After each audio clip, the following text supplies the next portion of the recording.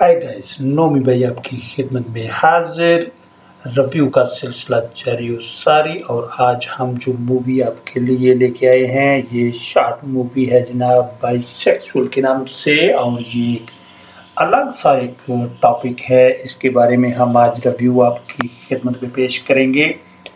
हमारे चैनल का नाम है प्रोशन स्टूडियो तो इसमें हम आपको बताते चलें कि हमारा ये वतीरा चला रहा है। जो भी बंदा हमें सब्सक्राइब करता है लाइक करता है कि कमेंट करता है, कुछ भी वो तीनों में से करता है तो हम उसके बदले में उसके चैनल को सब्सक्राइब किया करते हैं। और आइए टाइम आपका वेस्ट किए बगैर हम स्टार्ट करते हैं आज का रिव्यू बाइसेक्सुअल के ऊपर और शॉर्ट मूवी के नाम से, जो कि नहायत ही सबका मोज किस्म की ये वानी और उसकी मामा है और उसकी मामा वानी को बता रही है कि देखो, छब्बीस की हो गई हो और शादी के बारे में भी कुछ सोचो। उसके जवाब में वानी का ये कहना है कि हाँ हाँ सोच लेंगे। आप टेंशन क्यों लेती हैं, मोम? तो उसने कहा कि देखो, मुझे बताओ, कोई लड़का है तुम्हारी ज़िंदगी में, या ये काम भी मुझे ही करना पड़ेगा? तो वानी ने जवाब दिया कि मैं बाइसेक्सुअल हूँ। इसके ऊपर उसकी मामा का रिएक्शन जो था, वो नहायत ही गलत किस्म का था। उसने कहा कि अच्छा तुम लड़की से शादी करोगे? इसका क्या मतलब?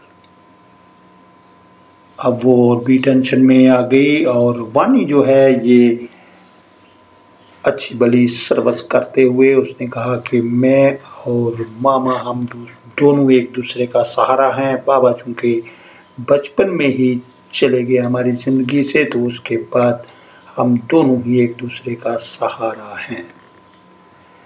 उसके बाद उसकी मामा पंडित जी से बात करती है और पंडित उसको कहता है, इसकी कुंडली में फ़र्क आ रहा है तो आप ऐसे करो कि दो कबूतर छः गाय और चार कुत्ते, दो बिल्लियों को आप खाना खिला दो तो ये मसला आपका आसान हो जाएगा।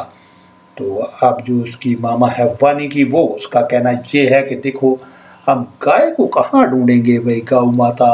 आओ भाई, हमारे घर से खाना खा लो तो ये एक और टेंशन हो जाएगी। तो चलो इसी सिलसिले में मैं वो लड़का है हमारा बांझा, उसको बुला लेते हैं।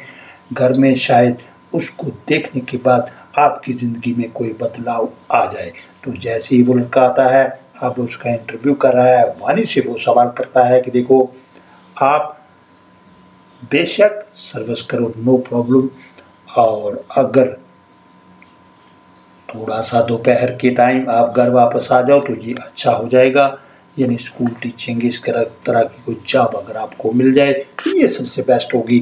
तो वानी का कहना ये है कि तुम्हें पता है कि मैं बाइसेक्चुअल हूँ और ये बात सुनते ही वो आप से बाहर हो गया। उसने कहा, इसका कोई इलाज कराओ, ये बाइसेक्चुअल वेस्टर्न कल्चर का इसके ऊपर असर हुआ पड़ा है। इसको किसी डॉक्टर को दिखाओ, किसी हकीम को दिखाओ। तो वो पहले तो सुनती रही, लेकिन वानी की माँ ने फिर वो आपे से बाहर होते हुए उसने कहा, तुम मेरी बेटी के ऊपर इस तरह का इल्ज़ाम, इस तरह उसको एब नॉर्मल कहना, तुम कह के जाओगे कैसे? उसने उसको गले से दबोच लिया और उसको धक्के मार के बाहर निकाला कि, मेरी बेटी जो भी है, वो एक घर को सपोर्ट कर रही है, अपने पाँव के ऊपर खड़ी है। तुम उसको रिजेक्ट कर रहे हो उसको ये एहसास दिला रहे हो कि तुम बाइसेक्चुअल हो और उसके साथ साथ तुम एब नॉर्मल हो। दफ़ा हो जो तुम्हारी तरह नहीं है वो। जो कि एक बाप के गले के ऊपर बैठ के अपने लिए रिश्ते ढूँढने शुरू कर दिए। अपने पाँव पे खड़ा होना तो सीखो।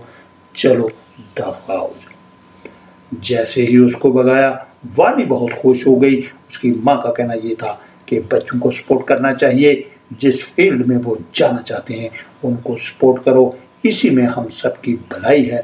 और ये जो बाई सेक्सुअल वगैरह कुछ भी नहीं है ऐसा, और आप अगर उसको सपोर्ट करते हैं तो आखिरकार आपकी बेटी आपकी बात मान लेगी। और उसके साथ साथ वो भी इसी तरीके से अपनी नॉर्मल ज़िंदगी की तरफ़ वापस आ जाएगी। तो ये दोस्तों, आपको हमारा रिव्यू जो है वो कैसा लगा? नेक्स्ट रिव्यू तक के लिए आपसे चाहेंगे इजाज़त। अपना बहुत सारा ख्याल रखिए नोमी भाई को दीजिए इजाज़त। अल्लाह हाफिज़ एंड बाय बाय